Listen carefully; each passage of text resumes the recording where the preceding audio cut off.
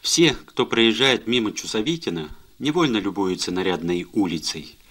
Она растет прямо на глазах. Раз проехал – пять домов, второй – десять, третий – шестнадцать.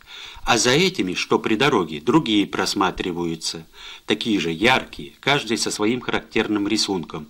Не с конвейера спущенный, не холодной рукой деланный.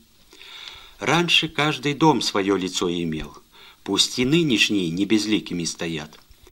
Виктор Кириллович Дыбенко, директор совхоза, убежден, что у сельского дома каждый угол красен должен быть. Дом ведь не только крыша над головой, и построить его непросто. Надо сказать, строительство хозяйственным способом всегда э, имеет свои трудности, свою специфику.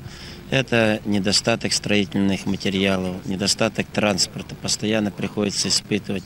Мы сами э, сделали свой, свой примитивный значит, кирзавод, делаем там шлакоблоки.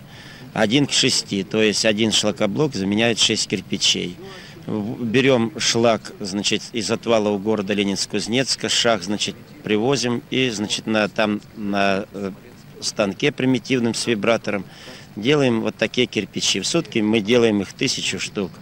Вместе с новыми домами в селе выросли совхозная контора, магазины, сельсовет, дом быта. Не нужно ехать в город, чтобы шить костюм или платье, починить часы или бытовой прибор. Все на месте, все под рукой. Забота, доброе жилье окупаются старицею. Совхоз один из лучших в области, хозяйство крепкое, на подъеме. Нам удалось решить последние годы проблему жилья. Есть только очередь на улучшение э, жилплощади. В Чусовитинском решена не только проблема жилья, но и кадров.